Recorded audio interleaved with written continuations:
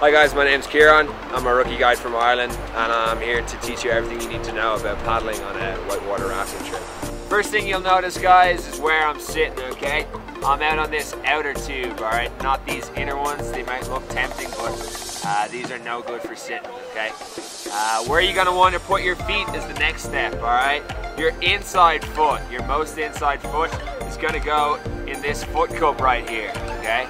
Uh, and then you're gonna wrap your outside foot around the back of it like this, okay? All right, next thing I'm gonna teach you are paddle strokes. The most basic one is the forward stroke, okay? Uh, two parts to this. Basically, first step, you're leaning all the way forward with your whole body, okay? Paddle straight down in the water, and then you're gonna crank back with your whole body, okay? Like so. All right, try and take your arms out of the equation and just use your core, all right? Okay, so in rafting, going backwards is just as important as going forwards. So basically the backward stroke starts with you leaning forward again. Uh, helpful little tip for this one, the shaft of the paddle will never leave your hip, okay?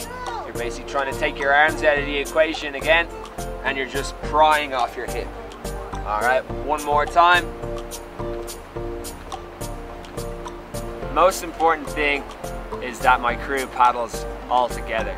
So how that's achieved are the two people who are sitting up the front of the raft are always going to be making sure they're starting and finishing each stroke at the same time. My commands will sound like forward, one, two, or three, and the same with back. I'll say back, one, two, or three. Uh, the numbers are referring to strokes that I need. Go all forward.